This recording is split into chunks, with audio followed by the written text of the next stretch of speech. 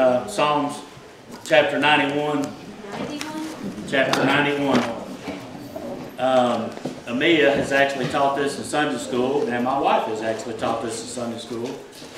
And uh, they did a fantastic job with it, and I just felt led to do it myself. And of course, not everybody is here for Sunday school. This is such a powerful, powerful chapter in the book of Psalms. Amen. And uh, of course, uh, you know, all of God's Word is awesome to me. I mean, it's just the most awesome love letter that you could ever receive today is the Word of God.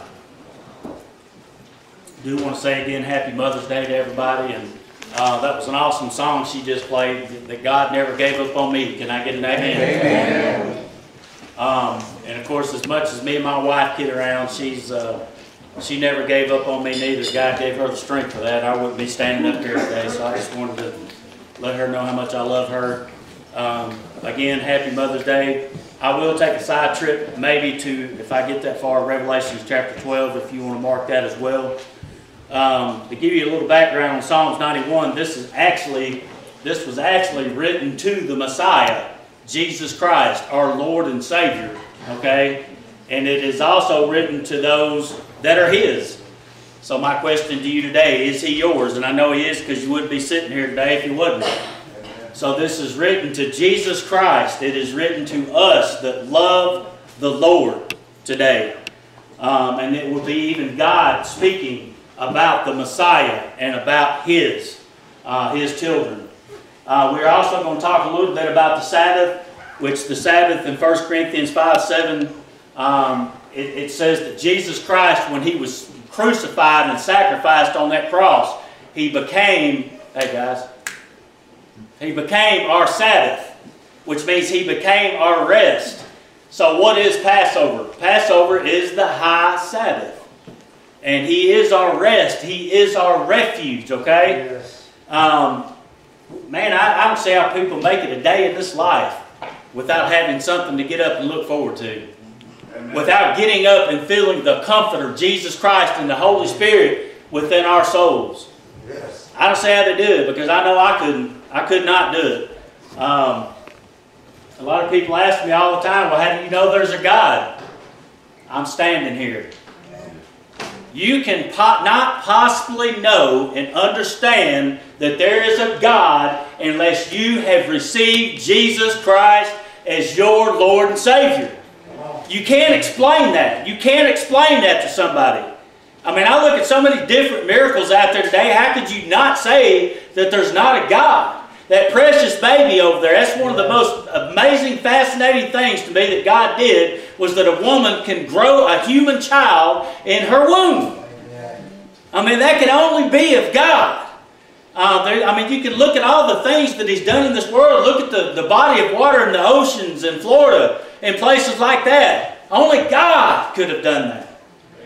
Uh, so it just amazes me, and I, you know, we've got to pray for those people who do not believe in God. We've got to pray for them that they would that, that they would open their eyes, that somebody, one of us, one of God's children, will go out and witness to them and share the grace of Jesus Christ with them. Amen. And, and, that, and that's how it's going to happen. We've got to get out there and we've got to tell people about God. Uh, but this is this has got some really beautiful scripture in it. Um, and uh, of course, I may go to a couple different other places. Psalms 91, written to the Messiah and those that are his. Uh, chapter 91, verse 1. He that dwelleth in the secret place of the Most High shall abide under the shadow of the Almighty. The Almighty God, folks. And you know what? It is no secret to us that love the Lord. It's no secret to us that the Holy Spirit exists. It's no secret to us that Jesus Christ died and rose again. It is no secret to us that we have the Holy Spirit of God that dwells within us. And we've got His protection. As long as we stay in His shadow, we've got His protection each and every day that we wake up and go out into the world. Can I get an amen? To abide also means to lodge. You don't have to die a physical death today to abide in the refuge of the Lord, folks. He's there for you now. Amen. He's here for you today. There's not one thing that you are going through today that God cannot help you to overcome in your life. You. To have that refuge. I always like to say, I want you to look back on your life. Now, I've- let me tell you something. I've lived a colorful life. I've done a lot of things. I want you to look back in your life and, and, and realize and see the refuge, the hand of God guiding you through your life and the things that He has brought you through. Because I'm going to tell you something, by all rights, I should be dead and not standing up here today. God had a purpose for my life before I knew I had a purpose in my life. Praise God. Those of us that love Him, but we have got to show others. So when I'm studying this, I, I can't imagine people going through their life not having something to look forward to.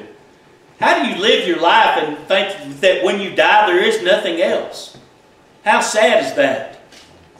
Uh, Luke 14, 23, the Lord said unto the servant, Go out into the highways and the hedges and compel them to come in that my house may be filled. Now I know it's up to God who's in here and who's not in here, man, but one day this church will be so full the walls will not be able to hold it. It will be. I claim it. I know it. I feel it. Verse 2. I will say of the Lord, He is my refuge and my fortress. My God, in Him will I trust. Proverbs 8 17 says, I love them that love me, and those that seek me early shall find me.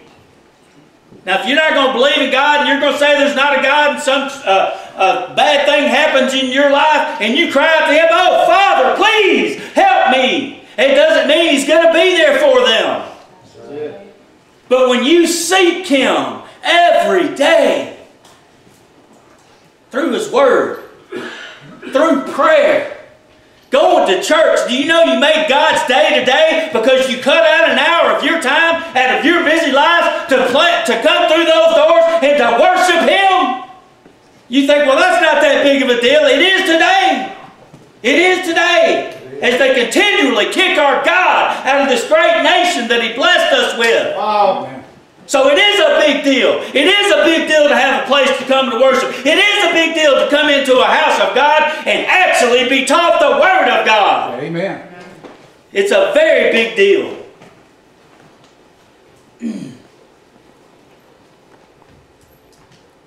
We have to have faith. Let me finish that verse. It says, I will say unto the Lord, He is my refuge, my fortress, my God, in Him will I trust. What is that trust? It is to have faith in God. Our word for the year. To have faith that God is there with you no matter what you're going through. To have faith that God is going to pick you up when you have fallen down. Verse 3 Surely he shall deliver thee from the snare of the fowler and from the noisome pestilence. Now, what is the snare of a fowler? Is someone who, who sets traps to catch the birds. So, who is the fowler today? It's Satan. And he's always setting traps for us to snare us in his snare. Is that trap an addiction to drugs? Is that trap an addiction to alcohol? Is that trap an addiction to pornography? Is that trap of the lust of the flesh and adultery? Whatever your weakness is, the fowler knows it, and he has got a trap set waiting for you to mess up. But we have the refuge. As long as we are in the shadow of the Almighty God, those traps won't do him no good because we have the victory. Hallelujah. Don't let him snare you in his trap.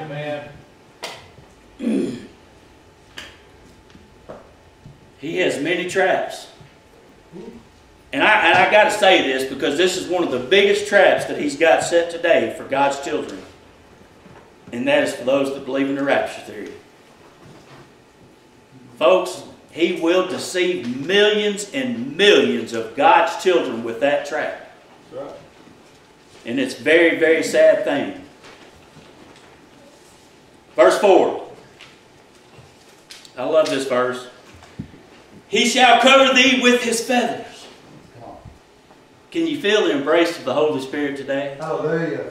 Can you Yes. feel it? Can you feel His presence? he shall cover thee with His feathers, and under His wings shalt thou trust. You will have faith in Him. His truth shall be thy shield and thy buckler. What is the shield and the buckler? It is the holy word of God, folks. Ephesians 6.20 says, Take on the whole armor of God, that ye may be able to stand in the evil day, having done all to stand. Each and every time that you are in God's Word, and each and every time that you are in prayer, you've got that shield in front of you. You're not going to fall into the snare. You've got the helmet of salvation. You've got the breastplate. Satan cannot touch you if you have the protection of Almighty God. Amen. Hallelujah. A verse I really like about this one is if you go back to Deuteronomy 32 11. As an eagle stirreth up her nest, and our Father is compared to the great eagle, fluttereth over her young, spreadeth abroad her wings, and taketh them, beareth them on her wings. I mean, you go to hanking around with an eagle's nest and, and, and, and, his, and her babies, you asking for trouble. Because if you are one of his, and I say yes that you we're all his, but to be one of his, to abide in the mansion that he is preparing for you today, those who love him, those who have accepted him as their Lord and Savior today, you've got the wings of God, you've got his protection about you. And if anybody hangs with his children, he does not like it. Went to Pickwick a couple of days ago, and I've been noticing this nest for the last couple of years. My wife knows what I'm talking about. Some of you may know what I'm talking about. Before you go over that bridge, mm-hmm. and you see all the, the power transformers and all those things, and you look up up to the right, there is a huge, huge eagle's nest there. And I've watched it, and I've watched her have her babies and seen them hatch, and see how they hover above that nest. God is hovering above you today, and when His enemies mess with you, He will thump their gourd. Preach it, brother. Man, I love that analogy. Our Father compared to the great bald eagle that protecteth his young. Can I get an amen? Amen. All praise and glory to God. Verse 5 Thou shalt not be afraid of the terror by night, nor the arrow that flieth by day. There is no reason for us to fear Satan. There is no reason for us to fear the things and the ways of the world that they continue to throw at us, folks. We have no reason to fear because Jesus Christ told us in Luke chapter 10, verse 19, He gave us power over our enemies. Yes. That's right. Hallelujah. Verse 6 Nor for the pestilence that walketh in darkness, for the destruction that wasteth at noontime. Look at the world today, folks. We are living in modern day Sodom and Gomorrah. The things that are taking place. Socialism and communism are knocking at our door today. The one world system. You know what that is? That is the political system talked about in Revelation chapter 13. One world political system, which is one world currency, one world religion, one world government. And our God, the eagle, is not going to have it. They can continue to kick God out of our schools.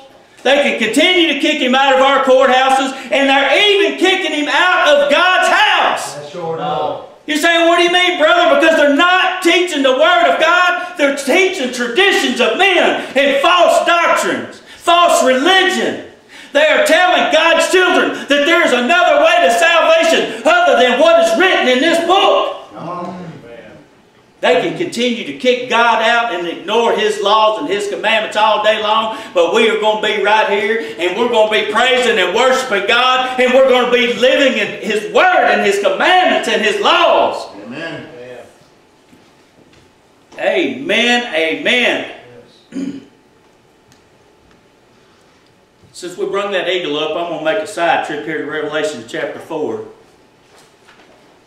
You can stay there where you're at, and I'll come right back to it. Revelations 12, 14.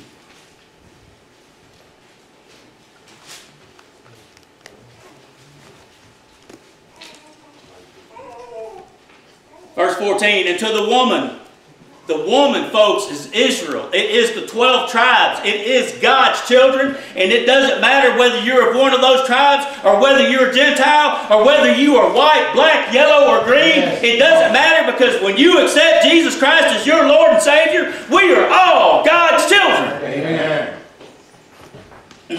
And God has prepared a place for all of His children. And to the woman were given two wings of a great eagle, that she might fly into the wilderness. The wilderness is the world. Into her place where she is nourished for a time and times and half a time from the face of the serpent.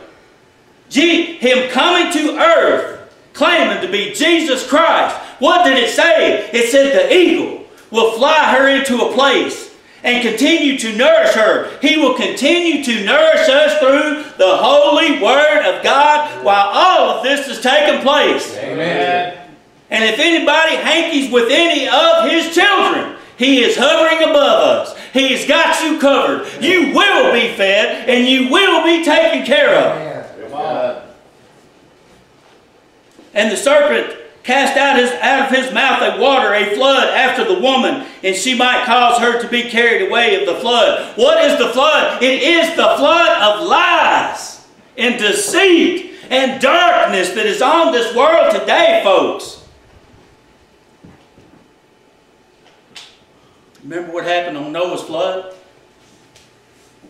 I mean, oh, Enoch preached and preached and preached. I don't know how many years before that happened. Only eight were listening that ended up on that ark. So my, my question to you is, are you going to be on the ark of the end times? I got news for you. Our feet ain't going to get wet because we've got that great eagle, our Father, watching over us and protecting us and nourishing us. And the earth helped the woman, and the earth opened her mouth and swallowed up the flood which the dragon cast out of his mouth. Oh, Mother Earth, that lives and breathes, that will provide for us during that time. All right, going back to Psalms.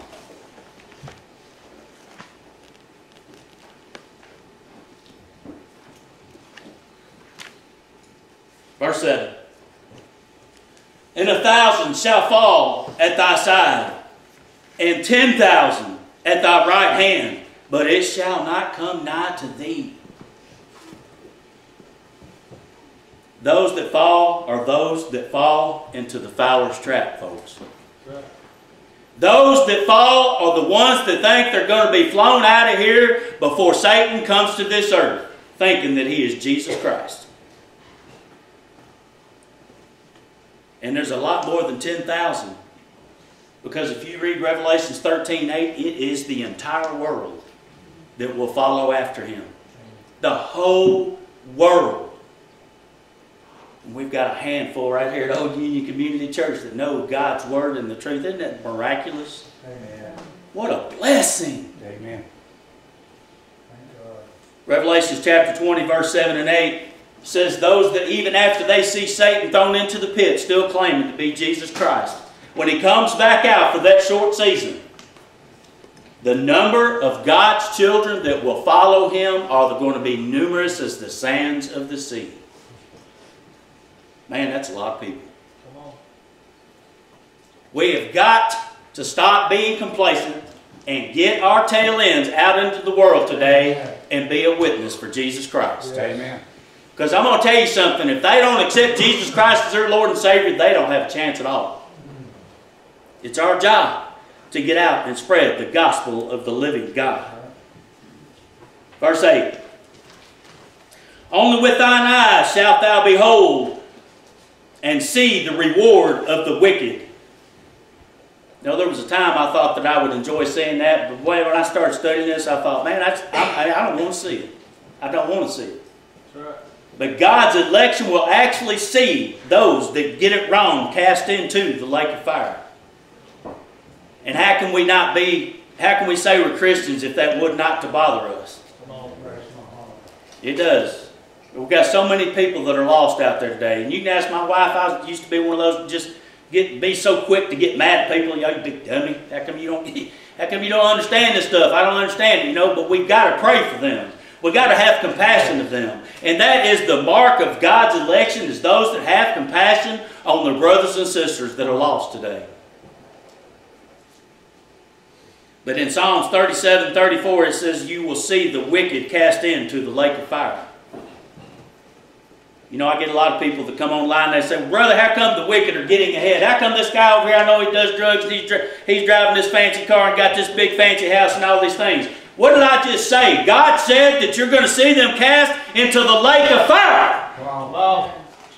Hebrews 13, 5, let your conversation be without covenants and be content with such things as you have. Be content with where you are in your life today. Be content with what you drive. Be content to where you live. And you take care of what God has blessed you with. And He will bless you with more. Don't be coveting what the evil and the wicked are getting away with today oh, because their reward is the lake of fire. That's right.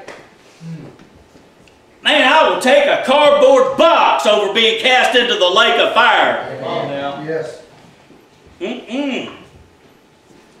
Verse 9, because thou hast made the Lord, which is my refuge. Is the storm beating upon your house today? Is it lightning, thunder, high winds? I'm talking about your physical self. I'm talking about life and the things that this world and the foul are throwing us each and every day. Is it beating on your windows? Is it hailing? God is your refuge. Man, if people would just stop, get quiet, and pray to God in the storm. Yes. Sometimes the storm's so bad you can't lift your head up. But guess what? Pray. While you've got your head bowed, while you are on your knees, you pray. Praise the Lord. Amen. See, that's where Satan makes his mistake. He thinks he's got you on your knees, but what he don't know is that you're praying to God. You're praying to the refuge. You're praying to the great eagle. Yes. Hallelujah. We're not giving up. We don't give up. That's right. He's going to make a mistake, and we're going to win because we've got the victory, and this book says we do. Hallelujah. Amen. Thank you, Father. Verse 10 There shall no evil befall thee, neither shall there any plague come nigh unto thy dwelling. Now, these next several verses are going to tell you exactly how Satan operates. These two verses I've known for many years. I've always, I've always just loved these two verses. The point that God wants you to understand about these two verses is how Satan operates. So, verse 11 For he shall give his angels charge over thee to keep thee in all thy ways. What is the way? It's the path that you're on. If you're one of his and you love him today, and you take time out of your life today to serve and love him and let him know it and get up each and every day and try to do what is right in a world that's going so wrong, he will give angels charge over you to watch over you, to keep you on the path that God has placed you on. Come on. Now the mode of operation for Satan is this. In Matthew chapter 4, he go he takes Christ or God takes Christ in the spirit up to the mountains and lets Satan tempt him. So he quotes this scripture. But the one that I just quoted to you, he didn't even mention. See, Satan knows the Word of God. Amen. My question is to you, how familiar are you with the Word of God? Come on. I'm going to wrap it up with this verse right here. Verse 12. They shall bear thee up in their hands, lest thou dash thy foot against a stone. He took Christ to the pinnacle, which in our terminology today is about four stories high. And he told him to jump off.